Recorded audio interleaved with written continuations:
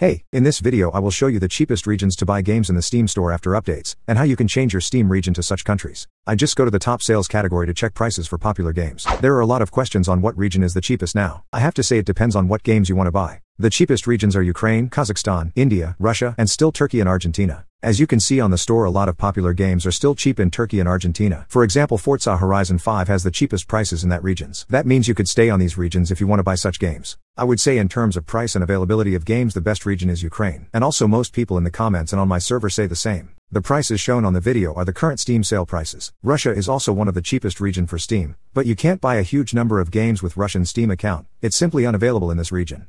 Okay, the next step is how to change region to the cheapest countries. There are two methods to change your Steam account region. If you want to change country on the existing account, like your main, you must have a credit card of the needed region. And Steam may not accept a virtual card like it was with Oldable and FUPS.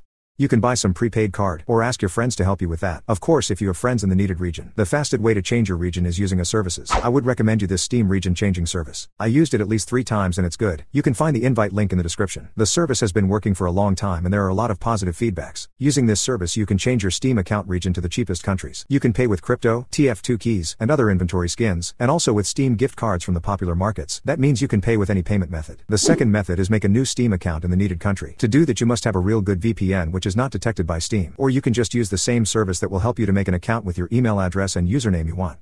Then let's talk about how to add money to that accounts. You can use gift cards. As you can see the gift cards are usually overpriced for all regions. The best way to add money to your changed account is using Steam Market. You just buy some inventory item like TF2 keys on some outside market, and then sell it on the Steam Market. This method is the most profitable today. I will leave some markets you can use in the description. What about Turkey and Argentine accounts? You still can get some cheap games, but most games cost the same as for the US. And now you can redeem global USD gift cards on that accounts. I tried it with Argentina and Turkey accounts both and it works for me. So in this video I showed some info about new regions for Steam Store. Leave a comment if you have any question or suggestion. Thanks for watching.